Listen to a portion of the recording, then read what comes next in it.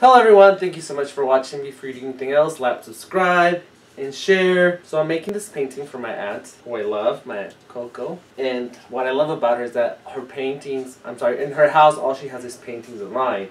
And I think if you're gonna decorate your home, it should always be with the original art, not with something that everybody else has. So once again, I'm in this craze of repurposing old paintings, and this behind here was a Picasso inspired horse I did. I'll show you the image here so you can see what it used to look like and this was an oil painting and I'm doing acrylic so I had to cover it with gesso and I only needed certain parts because I am going to come back and bring oil in it and it's going to be very geometric, somewhat abstracted and yeah, I'm excited to see what it will eventually turn out like and hopefully my aunt loves it. So this is what it looks like now. I've started to add ge geometric shapes. The tree is going to be very geometric, so is a bird. I'm going to incorporate yellows, it's going to have a lot of blues, gray as well. So this is what it looks like so far. I've been just working and working and I'm really loving the way it's coming out. I'm going to add mountains here incorporate more gray, keep these mountains from the previous one. All of this is staying, more blues. I'm very excited about the way it's looking. I really love it. So we'll see what happens. So this is what it looks like now. I'm really surprised at how fast I'm painting. I think I'm just really inspired by this piece.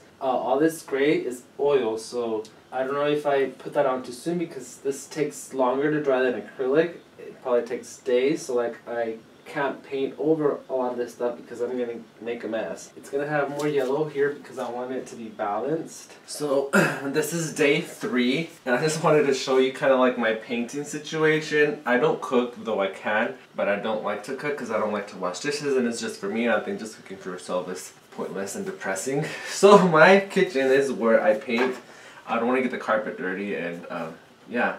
So I was debating whether to incorporate more colors or not but since I have like a yellow area, I kind of want there to be like a blue area, gray area for the mountains, and this will be a, just a little mix of everything to draw, pull it in. I'm going to add more to the branches. It still needs a lot of work. I don't like this right here, so I'll have to find a way to solve that. So I just took some pre-workout because I'm going to the gym and I wait 30 minutes. I drink it, I already drank one, and I wait 30 minutes, so while I wait for this to kick in and I paint and then I'll come back, this will be dry. I hate going to the gym because if there's people there, then I can't do weights because I feel like dumb with the 15 dumbbells, the 15 pound dumbbells. So if there's people there, I will only do treadmill stuff and then I'll leave. But if there's no one there, then I'll do machines and weights. I don't know, I just feel like people watch you and it's true because I watch people too at the gym.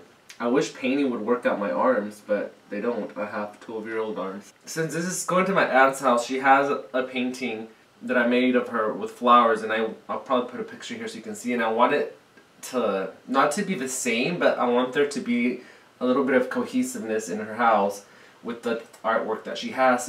She also has a deer that's geometric, so I'll show you that as well. I want everything to make sense. I think when you collect art, there should be some type of like, not theme, but some like a general aspect that kind of makes all the pieces relate to each other, if that makes sense. Now see, this is oil and it's wet and I forgot and I just rubbed it all over the red.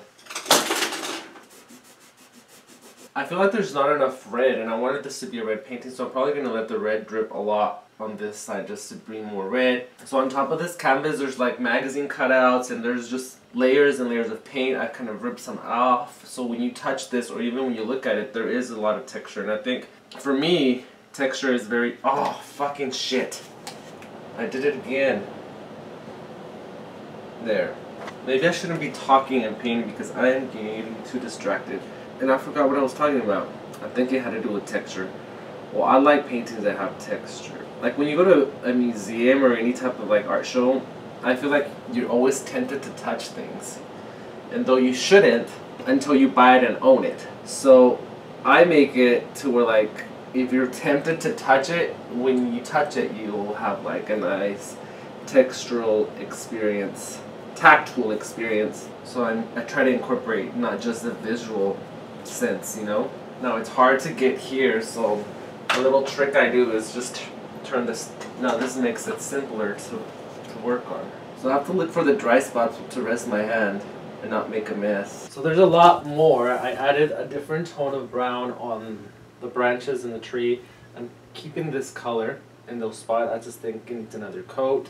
I need to clean up this brown, take a little of that yellow drip off. So I'm almost done with the acrylic painting. I need to go back in and fill in the this light brown because it's a little bit too translucent because it's just on coat one, so it needs more. Then after that I'm going to the oils which will be all of this side. The bird's done. It's about 70% done, I think. Últimamente estoy escuchando mucho Los Ángeles Azules mientras pinto y con mi vino tinto se me afloja la mano más, todavía más. y creo que mi, mi error en este proceso fue agregar el óleo porque pego la mano y la estoy súper cagando. So, I should have waited to do the oil to the paper here es porque se veía la luz super plasmada, el la reflexión y me molestaba, solo que lo tapé. One day I'll have my own studio and I won't have to paint in a kitchen. A little secret, I trace with the marker because you add layers of paint and you can still see the lines, so they're there. But sometimes it works against me because I want the line gone and it's not gone.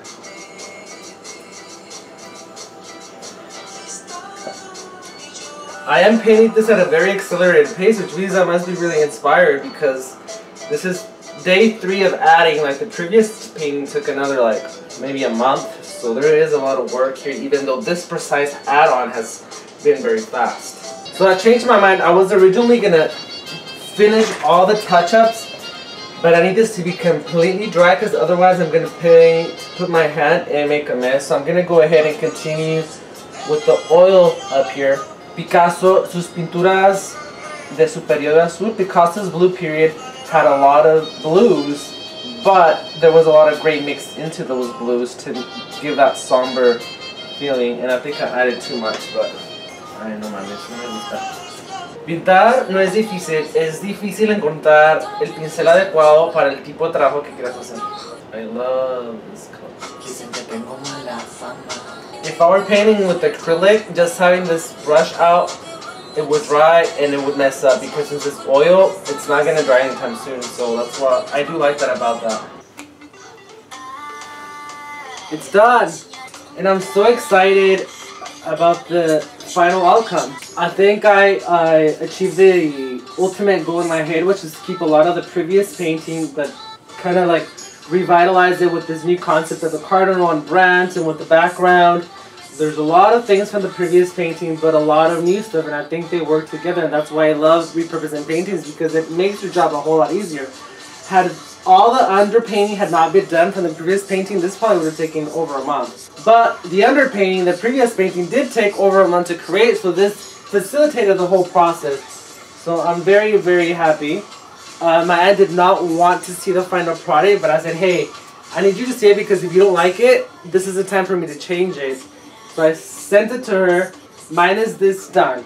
And then she liked it. I told her I just gotta fix the fit, but I really love it, and I'm I'm kind of glad I did this because this is my return to oil painting that I hadn't done in possibly two years.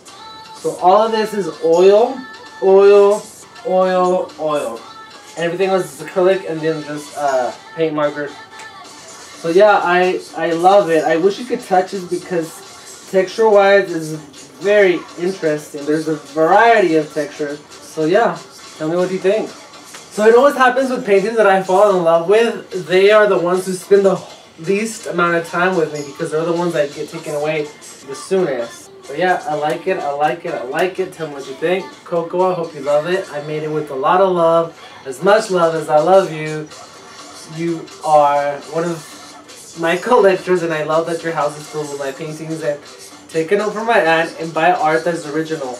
Not from Hobby Lobby or from Walmart or from Home Interior. Does that still exist? But yeah, yeah, yeah. Tell me what you think. And watch all the content in my channel. Until next time, adios, bye.